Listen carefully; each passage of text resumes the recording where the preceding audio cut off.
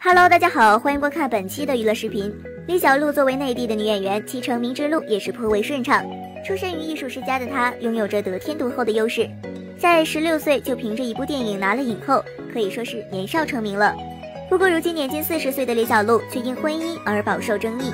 本来和贾乃亮也是娱乐圈的一对金童玉女，但是受到了很多事件影响。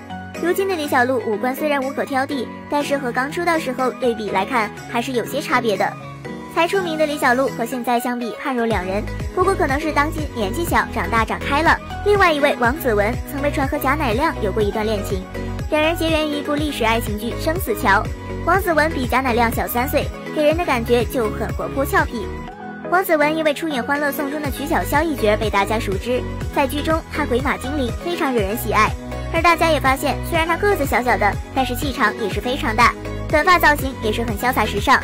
不过出道前的王子文可是一个文静的淑女模样，她也曾晒出自己十六岁时候的照片，可以看出那时的她青春又靓丽，留着黑长发也是清纯无比，和现在的形象差别很大。不过面貌如今看起来没有差别，可以说是真正的原装美女，自然美了。好了，本期的视频就到这里了，我们下次见，拜拜。